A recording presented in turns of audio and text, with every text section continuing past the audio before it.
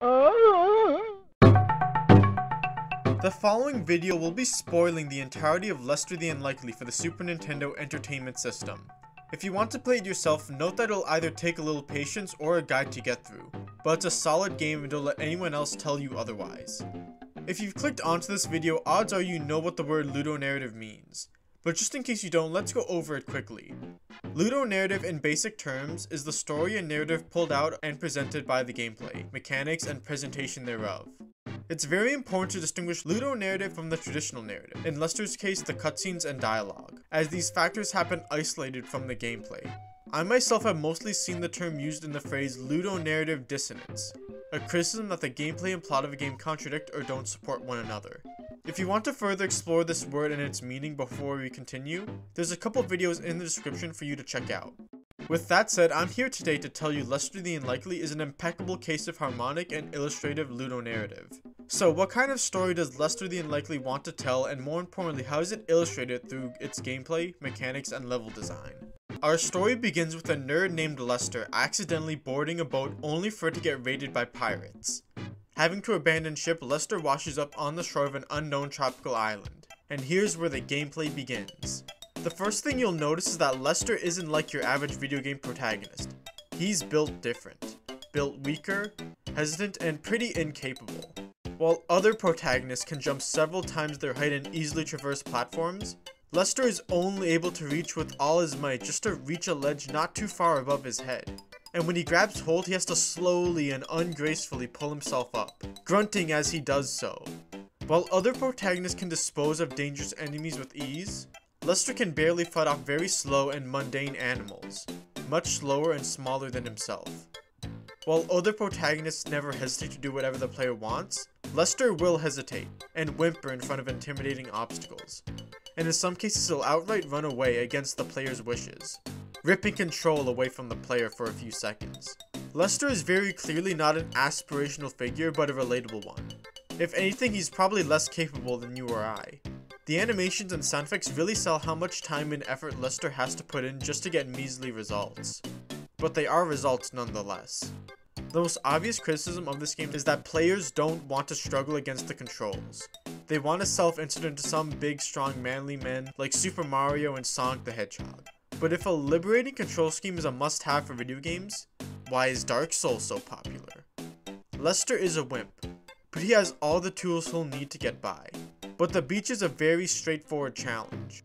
The following cave is built to be a bit confusing, but even if some challenges confuse or frustrate you, they can easily be worked around.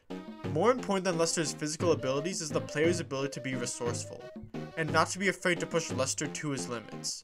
It can be very satisfying to get accustomed to and overcome challenges with this limited skill set. The falling graveyard level is one that looks spooky and difficult, but if Lester remains patient and understands his limits, victory will be his. And that's really the thesis for this game's story. Lester is far more capable than he first appears. He is capable more than he knows. But more important is for Lester to remain vigilant and not get cocky.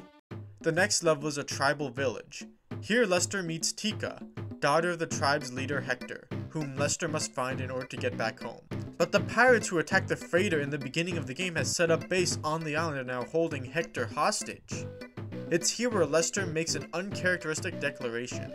Gee, that's terrible. I've got to rescue your father. Leave it to me. Lester the Heroic.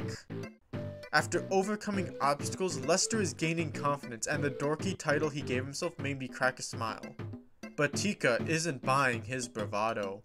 More like Lester the Unlikely! You can hardly take care of yourself! How could you possibly rescue anyone else? Tika dejects our protagonist, but that only fuels the fire in Lester's soul. He's gonna prove that nagging woman wrong. Tika warns Lester to stay on the rooftops to avoid the other villagers, as they may mistake him for a pirate. So Lester does just that and... The hatred for Caucasians! I can't even handle it. I wake up every morning and I just cry at the edge of my bed, and my wife says to me, What's wrong, honey? What's wrong? And I said, The hatred for Caucasians. It's just weighing down on me. Oh. no one likes me because I'm Caucasian. Oh, I read a BuzzFeed article that hurt my feelings. Oh, I. Bitch ass white boy. Now, it's possible to avoid this outcome with either careful footing or foresight, but most players will unknowingly fall into what seems like an unfair trap. But looking at the previous cutscene, Lester got cocky. He called himself heroic, even though he has yet to save anyone. And if the player doesn't stay careful, they will fall victim to hubris as well. This applies to the stages going forward. Don't think you're out of the woods just because you outwit the guard and stole his keys. Story and gameplay are one. The following raft and jungle levels begin testing Lester's courage. Through putting him on a raft he has no control over, and through introducing the vine swinging mechanics. Lester is continuing to push his limits and expand his abilities, ending with the first proper boss fight and Lester obtaining his first reusable weapon, a trusty boomerang. After defeating the gorilla, Tika begins to acknowledge Lester's growing chadhood. We now see two key differences in Lester's animations. The first being the aforementioned boomerang. Before, Lester's weapons were merely rocks to be flung, but with this boomerang, we see a modicum of skill and finesse in his hands. The second is Lester's run animation. It's no longer the embarrassing arm flailing skedaddle. Our boy is now composed and using proper jogging form which he will need for this next section, which happens to be my favorite in the whole game. The leopard chase is the most mechanically satisfying challenge of the game. You have to outrun a terrifying predator while jumping on and off vines in quick succession, with one mistake being the difference between life and death. Not even a mistake, failing to perform a jump in the fastest, most effective way once or twice is enough of a failure for the leopard to catch you.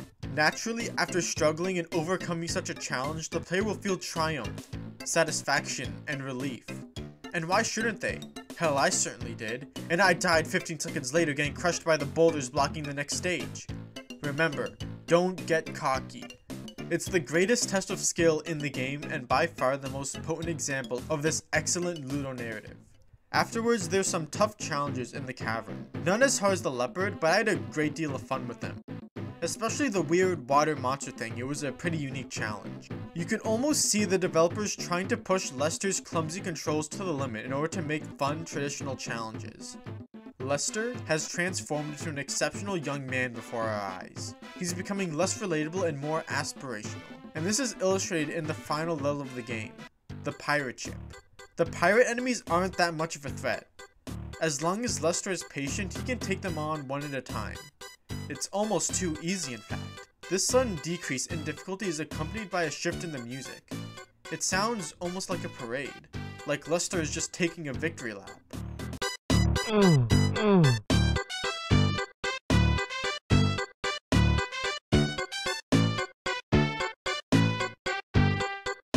But of course it ends with a puzzle. One with two answers, one of which is a red herring and the other which will cost you a life. So even at the end where Lester can take on waves of pirates with ease, he has to remain vigilant and use his noggin. After saving Hector, Lester is gifted with a surfboard, which he can use to ride home and eventually find himself a pair of babes to share his amazing adventures with.